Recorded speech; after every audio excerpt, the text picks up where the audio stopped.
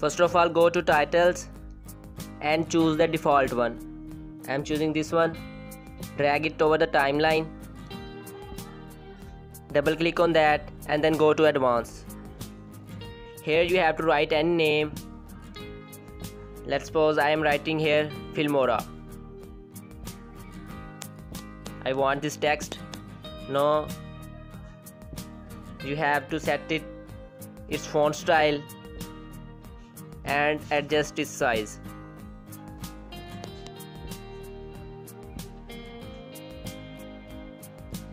I'm choosing this style.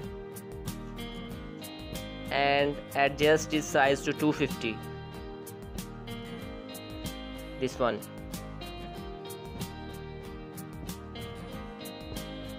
It's okay now. Go to animation and click on no animation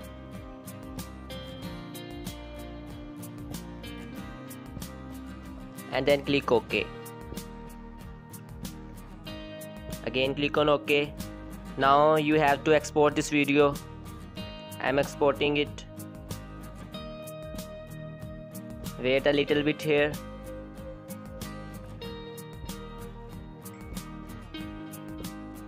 Here you can see the video is exported.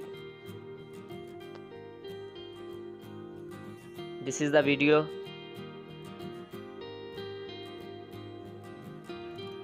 now we have to import the video that we just have exported. So drag it over the timeline.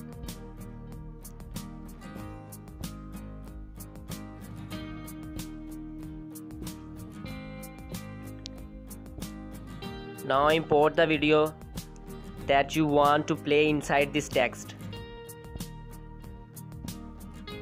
So this is the video I want to play inside my text drag it over the timeline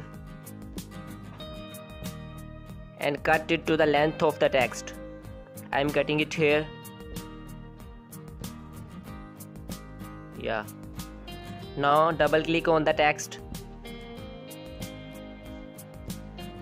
Go to video compositing blending mode and then select multiply.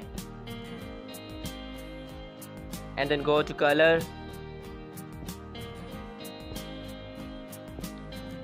choose this one and increase the brightness.